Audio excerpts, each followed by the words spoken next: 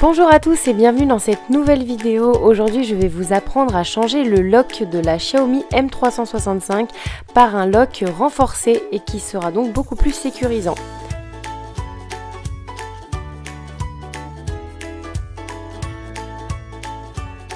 Alors pour la petite explication, on change le lock d'origine puisque comme vous le voyez à droite, il est très très fin et malheureusement il y a déjà eu des accidents du lock qui casse en plein ride. Donc on le remplace par un lock renforcé comme celui de gauche. Donc tout d'abord, il faut commencer par plier la potence.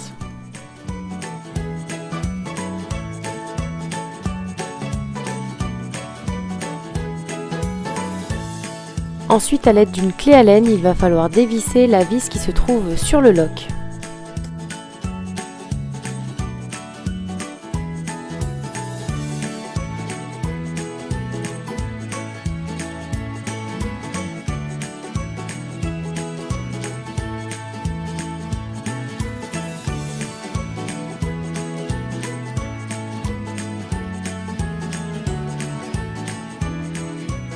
Munissez-vous d'un marteau avec un embout caoutchouc et d'une bouteille de WD-40.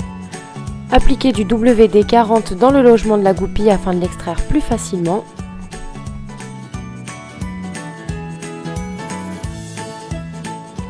Puis à l'aide d'un chasse-goupille de 5 mm, commencez à taper du côté droit jusqu'à extraire complètement la goupille.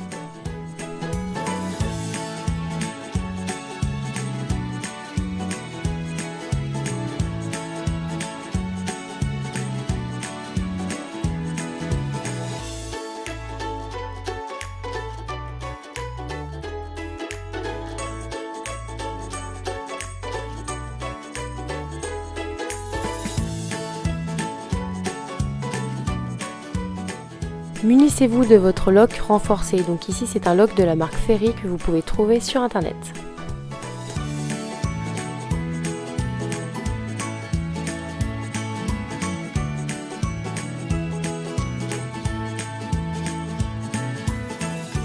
Donc là, mon focus ne s'est pas fait, mais il y a bel et bien un sens pour la goupille car elle est plus large d'un côté. Il faudra donc insérer le côté mince en premier. La suite est très simple et vous en douterez, il suffit de taper, taper et retaper jusqu'à ce que la goupille soit complètement insérée dans son logement. Alors je vous cache pas que pour moi ça a été l'étape la plus délicate puisque je n'osais pas taper en fait suffisamment fort.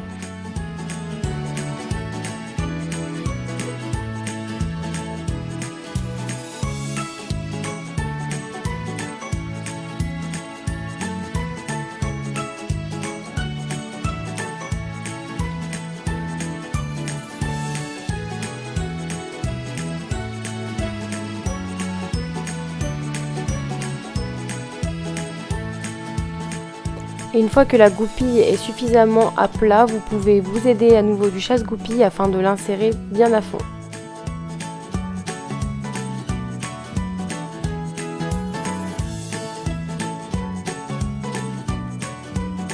Alors n'ayez pas peur de taper bien fort puisque comme je vous le disais tout à l'heure, le bout est de plus en plus épais.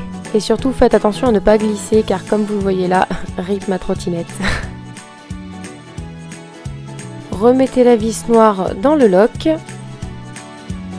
Et maintenant on arrive à l'une des étapes les plus cruciales de cette vidéo, donc il faut vérifier que le lock se fasse bien.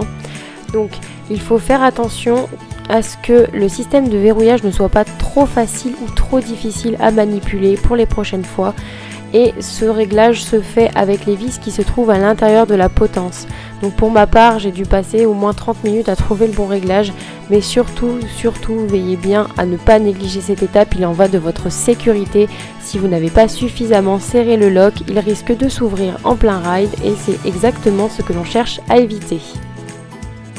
J'espère que cette vidéo vous aura plu, n'hésitez pas à commenter, à partager et à liker si c'est le cas. Et bien sûr n'oubliez pas de vous abonner et d'activer la petite cloche pour avoir les notifications. A bientôt